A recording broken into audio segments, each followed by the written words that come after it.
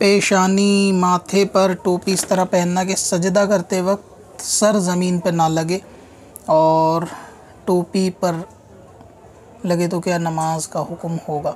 सवाल का खुलासा ये कि पेशानी के ऊपर पूरी टोपी से सर को ढक लेना और इस तरह सजदा करना कि वो सर ज़मीन पर ना लगे। तो इससे नमाज़ में कोई इतनी बड़ी कराहत नहीं आएगी, यानी नमाज़ ना होने वाली कोई दिक्कत नहीं है। बाकी बेहतर ये है कि टोपी को इस तरह ऊपर की तरफ़ थोड़ा ओढ़ा जाए कि पेशानी खुली रहे और सजदे में आसानी हो। बाकी टोपी को इतनी मोटी होती नहीं है कि जो सजदे के अंदर रुकावट पैदा करे।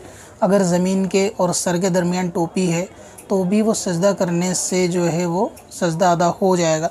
उसमें कोई इतनी फॉर्म वगैरह नहीं होती तो इसमें कोई हर्ज वाली बात नहीं है। अब अपनी कजा उमरी नमाजों का हिसाब लगाना हुआ और भी आसान। विज़िट करें कजा calculator dot S M S Warsi dot com पर और इस कैलकुलेटर से अपनी तमाम कजा नमाजों का हिसाब मिनटों में करें और डाउनलोड भी करें।